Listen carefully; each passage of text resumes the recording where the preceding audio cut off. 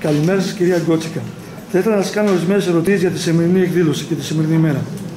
Καλημέρα σας, καλώς ήρθατε. Ποιος είναι ο ρόλος της γυναίκας στη σύγχρονη κοινωνία κατά την άποψή σας, Ο ρόλος της γυναίκας ε, είναι πολύ σημαντικός στην ελληνική κοινωνία.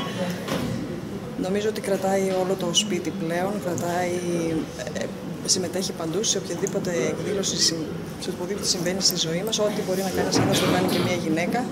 Ε, έχει όμως ε, το υπέρ της ε, λογικής της. Τι περιμένετε μετά τη σημερινή εκδήλωση, Μετά τη σημερινή εκδήλωση περιμένω να καταλάβουμε όλες οι κυρίες ότι η σημερινή μέρα είναι μια μέρα ανάμνησης ε, και, και για ποιο λόγο πρέπει να τη γιορτάζουμε.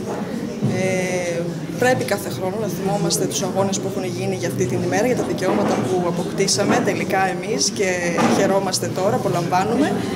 Ε, οπότε νομίζω ότι ε, αυτή η εκδήλωση ε, έτσι πρέπει να αρχίζει κάθε φορά η 8η του Μάρτη.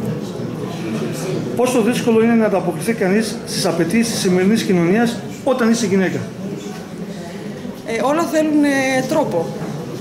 Μπορεί να είναι κάτι δύσκολο, το ξέρουν οι περισσότερες γυναίκες αυτό, όλες από τις μητέρες μας, τις γιαγιάδες μας, τις μητέρες μας, ακόμη και τις κόρες μας. Όμως ε, ε, αρκεί κανείς να, να μάθει τον σωστό τρόπο. Γι' αυτό και εμείς εδώ έχουμε την κυρία Τσουκνίδα σήμερα να μας τον υποδείξει.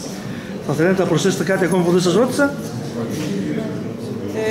Ε, θα ήθελα να ευχηθώ σε όλες τις κυρίες καλή δύναμη, να έχουν υπομονή και να βλέπουν τα πράγματα από τη θετική πλευρά, γιατί όλα έχουν τη θετική τους πλευρά και να πορευόμαστε στη ζωή με αγάπη για την οικογένεια, για τους συνανθρώπους μας και πίστη ότι όλα θα, θα είναι όπως θέλουμε. Σας ευχαριστώ πολύ. Σας ευχαριστούμε πολύ για τον χρόνο σας και εμείς. Να είστε καλά.